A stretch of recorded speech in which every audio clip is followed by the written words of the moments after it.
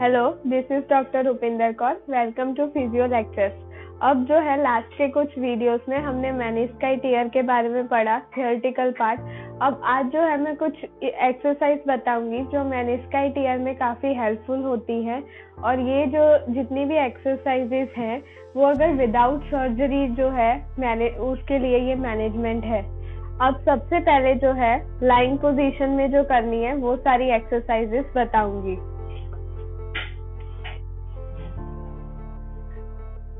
अब जब मैनिस्काइट ईयर होता है मोस्टली जो है पेशेंट ब्रेसेस पहन के रखते हैं, वो उतार देना है।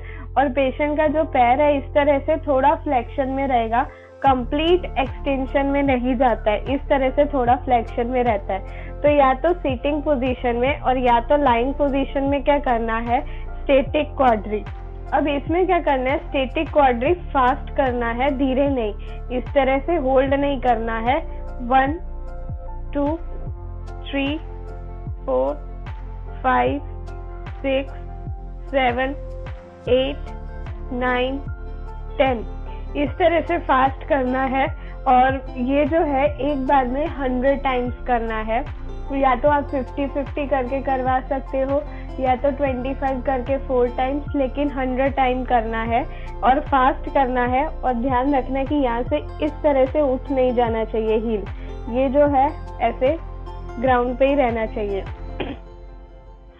अब जो है नेक्स्ट एक्सरसाइज वो लाइन पोजीशन में इस तरह से, पहले तो ही, जो पैर है वो इस तरह से होना चाहिए हील पे, और फिर जो है, इस तरह से नीचे दबाना है। ये साइड वाला जो पैर है, जो अफेक्टेड लेग है, उसमें इस तरह से रखना है, और ऐसे नीचे हील प्रेस करना है तो ये जो है हैमस्ट्रिंग कॉन्ट्रेक्शन होगा। तो ये एक एक्सरसाइज करनी है इस तरह से। ये थोड़ा इस तरह से रखना है, नीचे एंगल पे, और फिर करवाना है हैमस्ट्रिंग कॉन्ट्रेक्शन अब इसके बाद अगर इसका प्रोग्रेशन करवाना है तो इसी तरह से हील पे ब्रिजिंग करनी है। इस तरह से हील ब्रिज अब नेक्स्ट लेवल पे क्या करना है? यही ब्रिजिंग जो है, आप इधर एक बॉल रख सकते हो और इस तरह से जो है, फिर वो वॉल पे वो जो बॉल होगी, उसके ऊपर ब्रिजिंग कर सकते हो। तो ये उसका प्रोग्रेशन था। अब नेक्स्ट एक्सरसाइज में क्या करना है? एडप्टर स्ट्रेंथनिंग तो इस तरह से पिलो रख देना है और फिर उसे प्रेस करना है, छोड़ना है। प्रेस करके 10 टू 20 सेकेंड्स का होल्ड फिर छोड़ना है। प्रेस करना है होल्ड करके रखना है और फिर जो है उसे छोड़ देना है।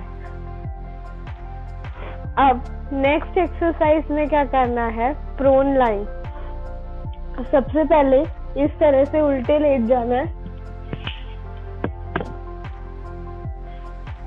अब प्रोन लाइन में क्या करना है? इस तरह से जो है नी फ्लेक्स करना है और फिर उसको जो है स्ट्रेट करने का इस तरह से ट्राई करना है। पहले फ्लेक्स फिर स्ट्रेट अब होगा क्या कि पर्सन का पूरा स्ट्रेट नहीं होगा? ऐसे थोड़ा अप रहेगा तो नीचे जो है, इधर पिलो रख सकते हो। जो हील है जो पैर है, उसके नीचे एक पिलो रख सकते हो और फिर ये जो है एक्सरसाइज करवा सकते हो। अब जो नेक्स्ट एक्सरसाइज है उसमें क्या करना है? हील स्लाइड करना है, इस तरह से। और अगर जो है इसमें प्रॉब्लम आ रही है तो इस तरह से एक क्लोथ लेके इस तरह से कोई सरफेस स्लाइडिंग सरफेस पे रख देना है और फिर जो है ये एक्सरसाइज करनी है।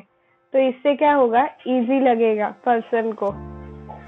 अगर हमारे पास स्नीक स्लाइडर नहीं है तो उसकी जगह इस तरह से एक क्लोथ यूज़ कर सकते हैं। और पेशेंट को खुद पता होगा, जैसे ही पेन होना स्टार्ट हो तो वो उतनी रेंज तक ही लेके जाएगा, फिर बाद में बंद कर देगा। तो ये जो है, काफ़ी इफ़ेक्टिव एक्सरसाइज है। अब नेक्स्ट है वन लेग रेस अब, उसमें क्या करना है, इस तरह से पहले जितना सीधा है, उतना, और फिर जो है, ऐसे ऊपर लेके जाना है। अब लेके कहाँ तक जाना है इसे ऊपर? तो ये जो साइड का नी होगा, जितना वो बेंड होगा, उतना ही लेके जाना है। उसके स्ट्रेट तक लेवल तक। उससे ज़्यादा नहीं। फिर नीचे लाना है। तो एक तो ये एक्सरसाइज हो गई।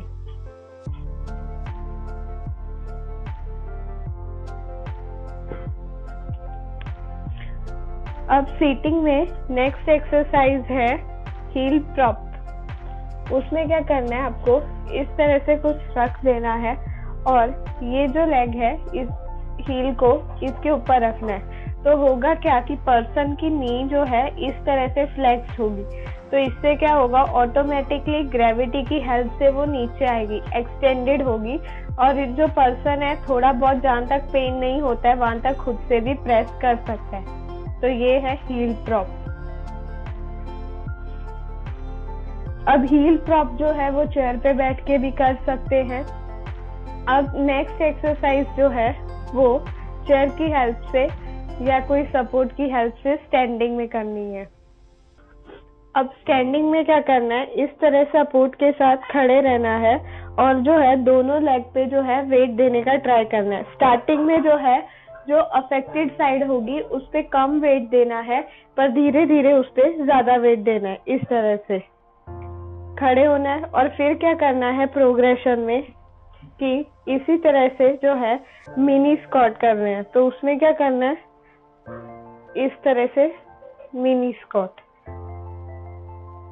अब मिनी स्कॉट में क्या ध्यान रखना है कि जब इस तरह से स्कॉट कर रहे हो तो ये जो नी है, वो टोस से आगे नहीं जानी चाहिए। इस तरह से थोड़ा ही बैठना है।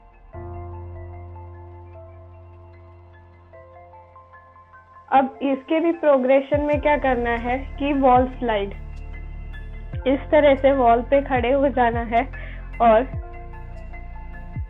इस तरह से वॉल स्लाइड करना है, फिर वापस. लेकिन ये प्रोग्रेशन में है. अब सीटिंग में चेयर पे बैठ जाना है पहले. अब सीटिंग में क्या करना है? इस तरह से पहले बैठ जाना है कोई भी चेयर पे. अब जो है अफेक्टेड साइड सपोज़ ये मेरी अफेक्टेड साइड है तो अनअफेक्टेड को थोड़ा पीछे ले जाना है और अफेक्टेड साइड के नीचे इस तरह से कोई स्लाइडिंग क्लोथ रख देना है। तो इस तरह से स्लाइड करना है।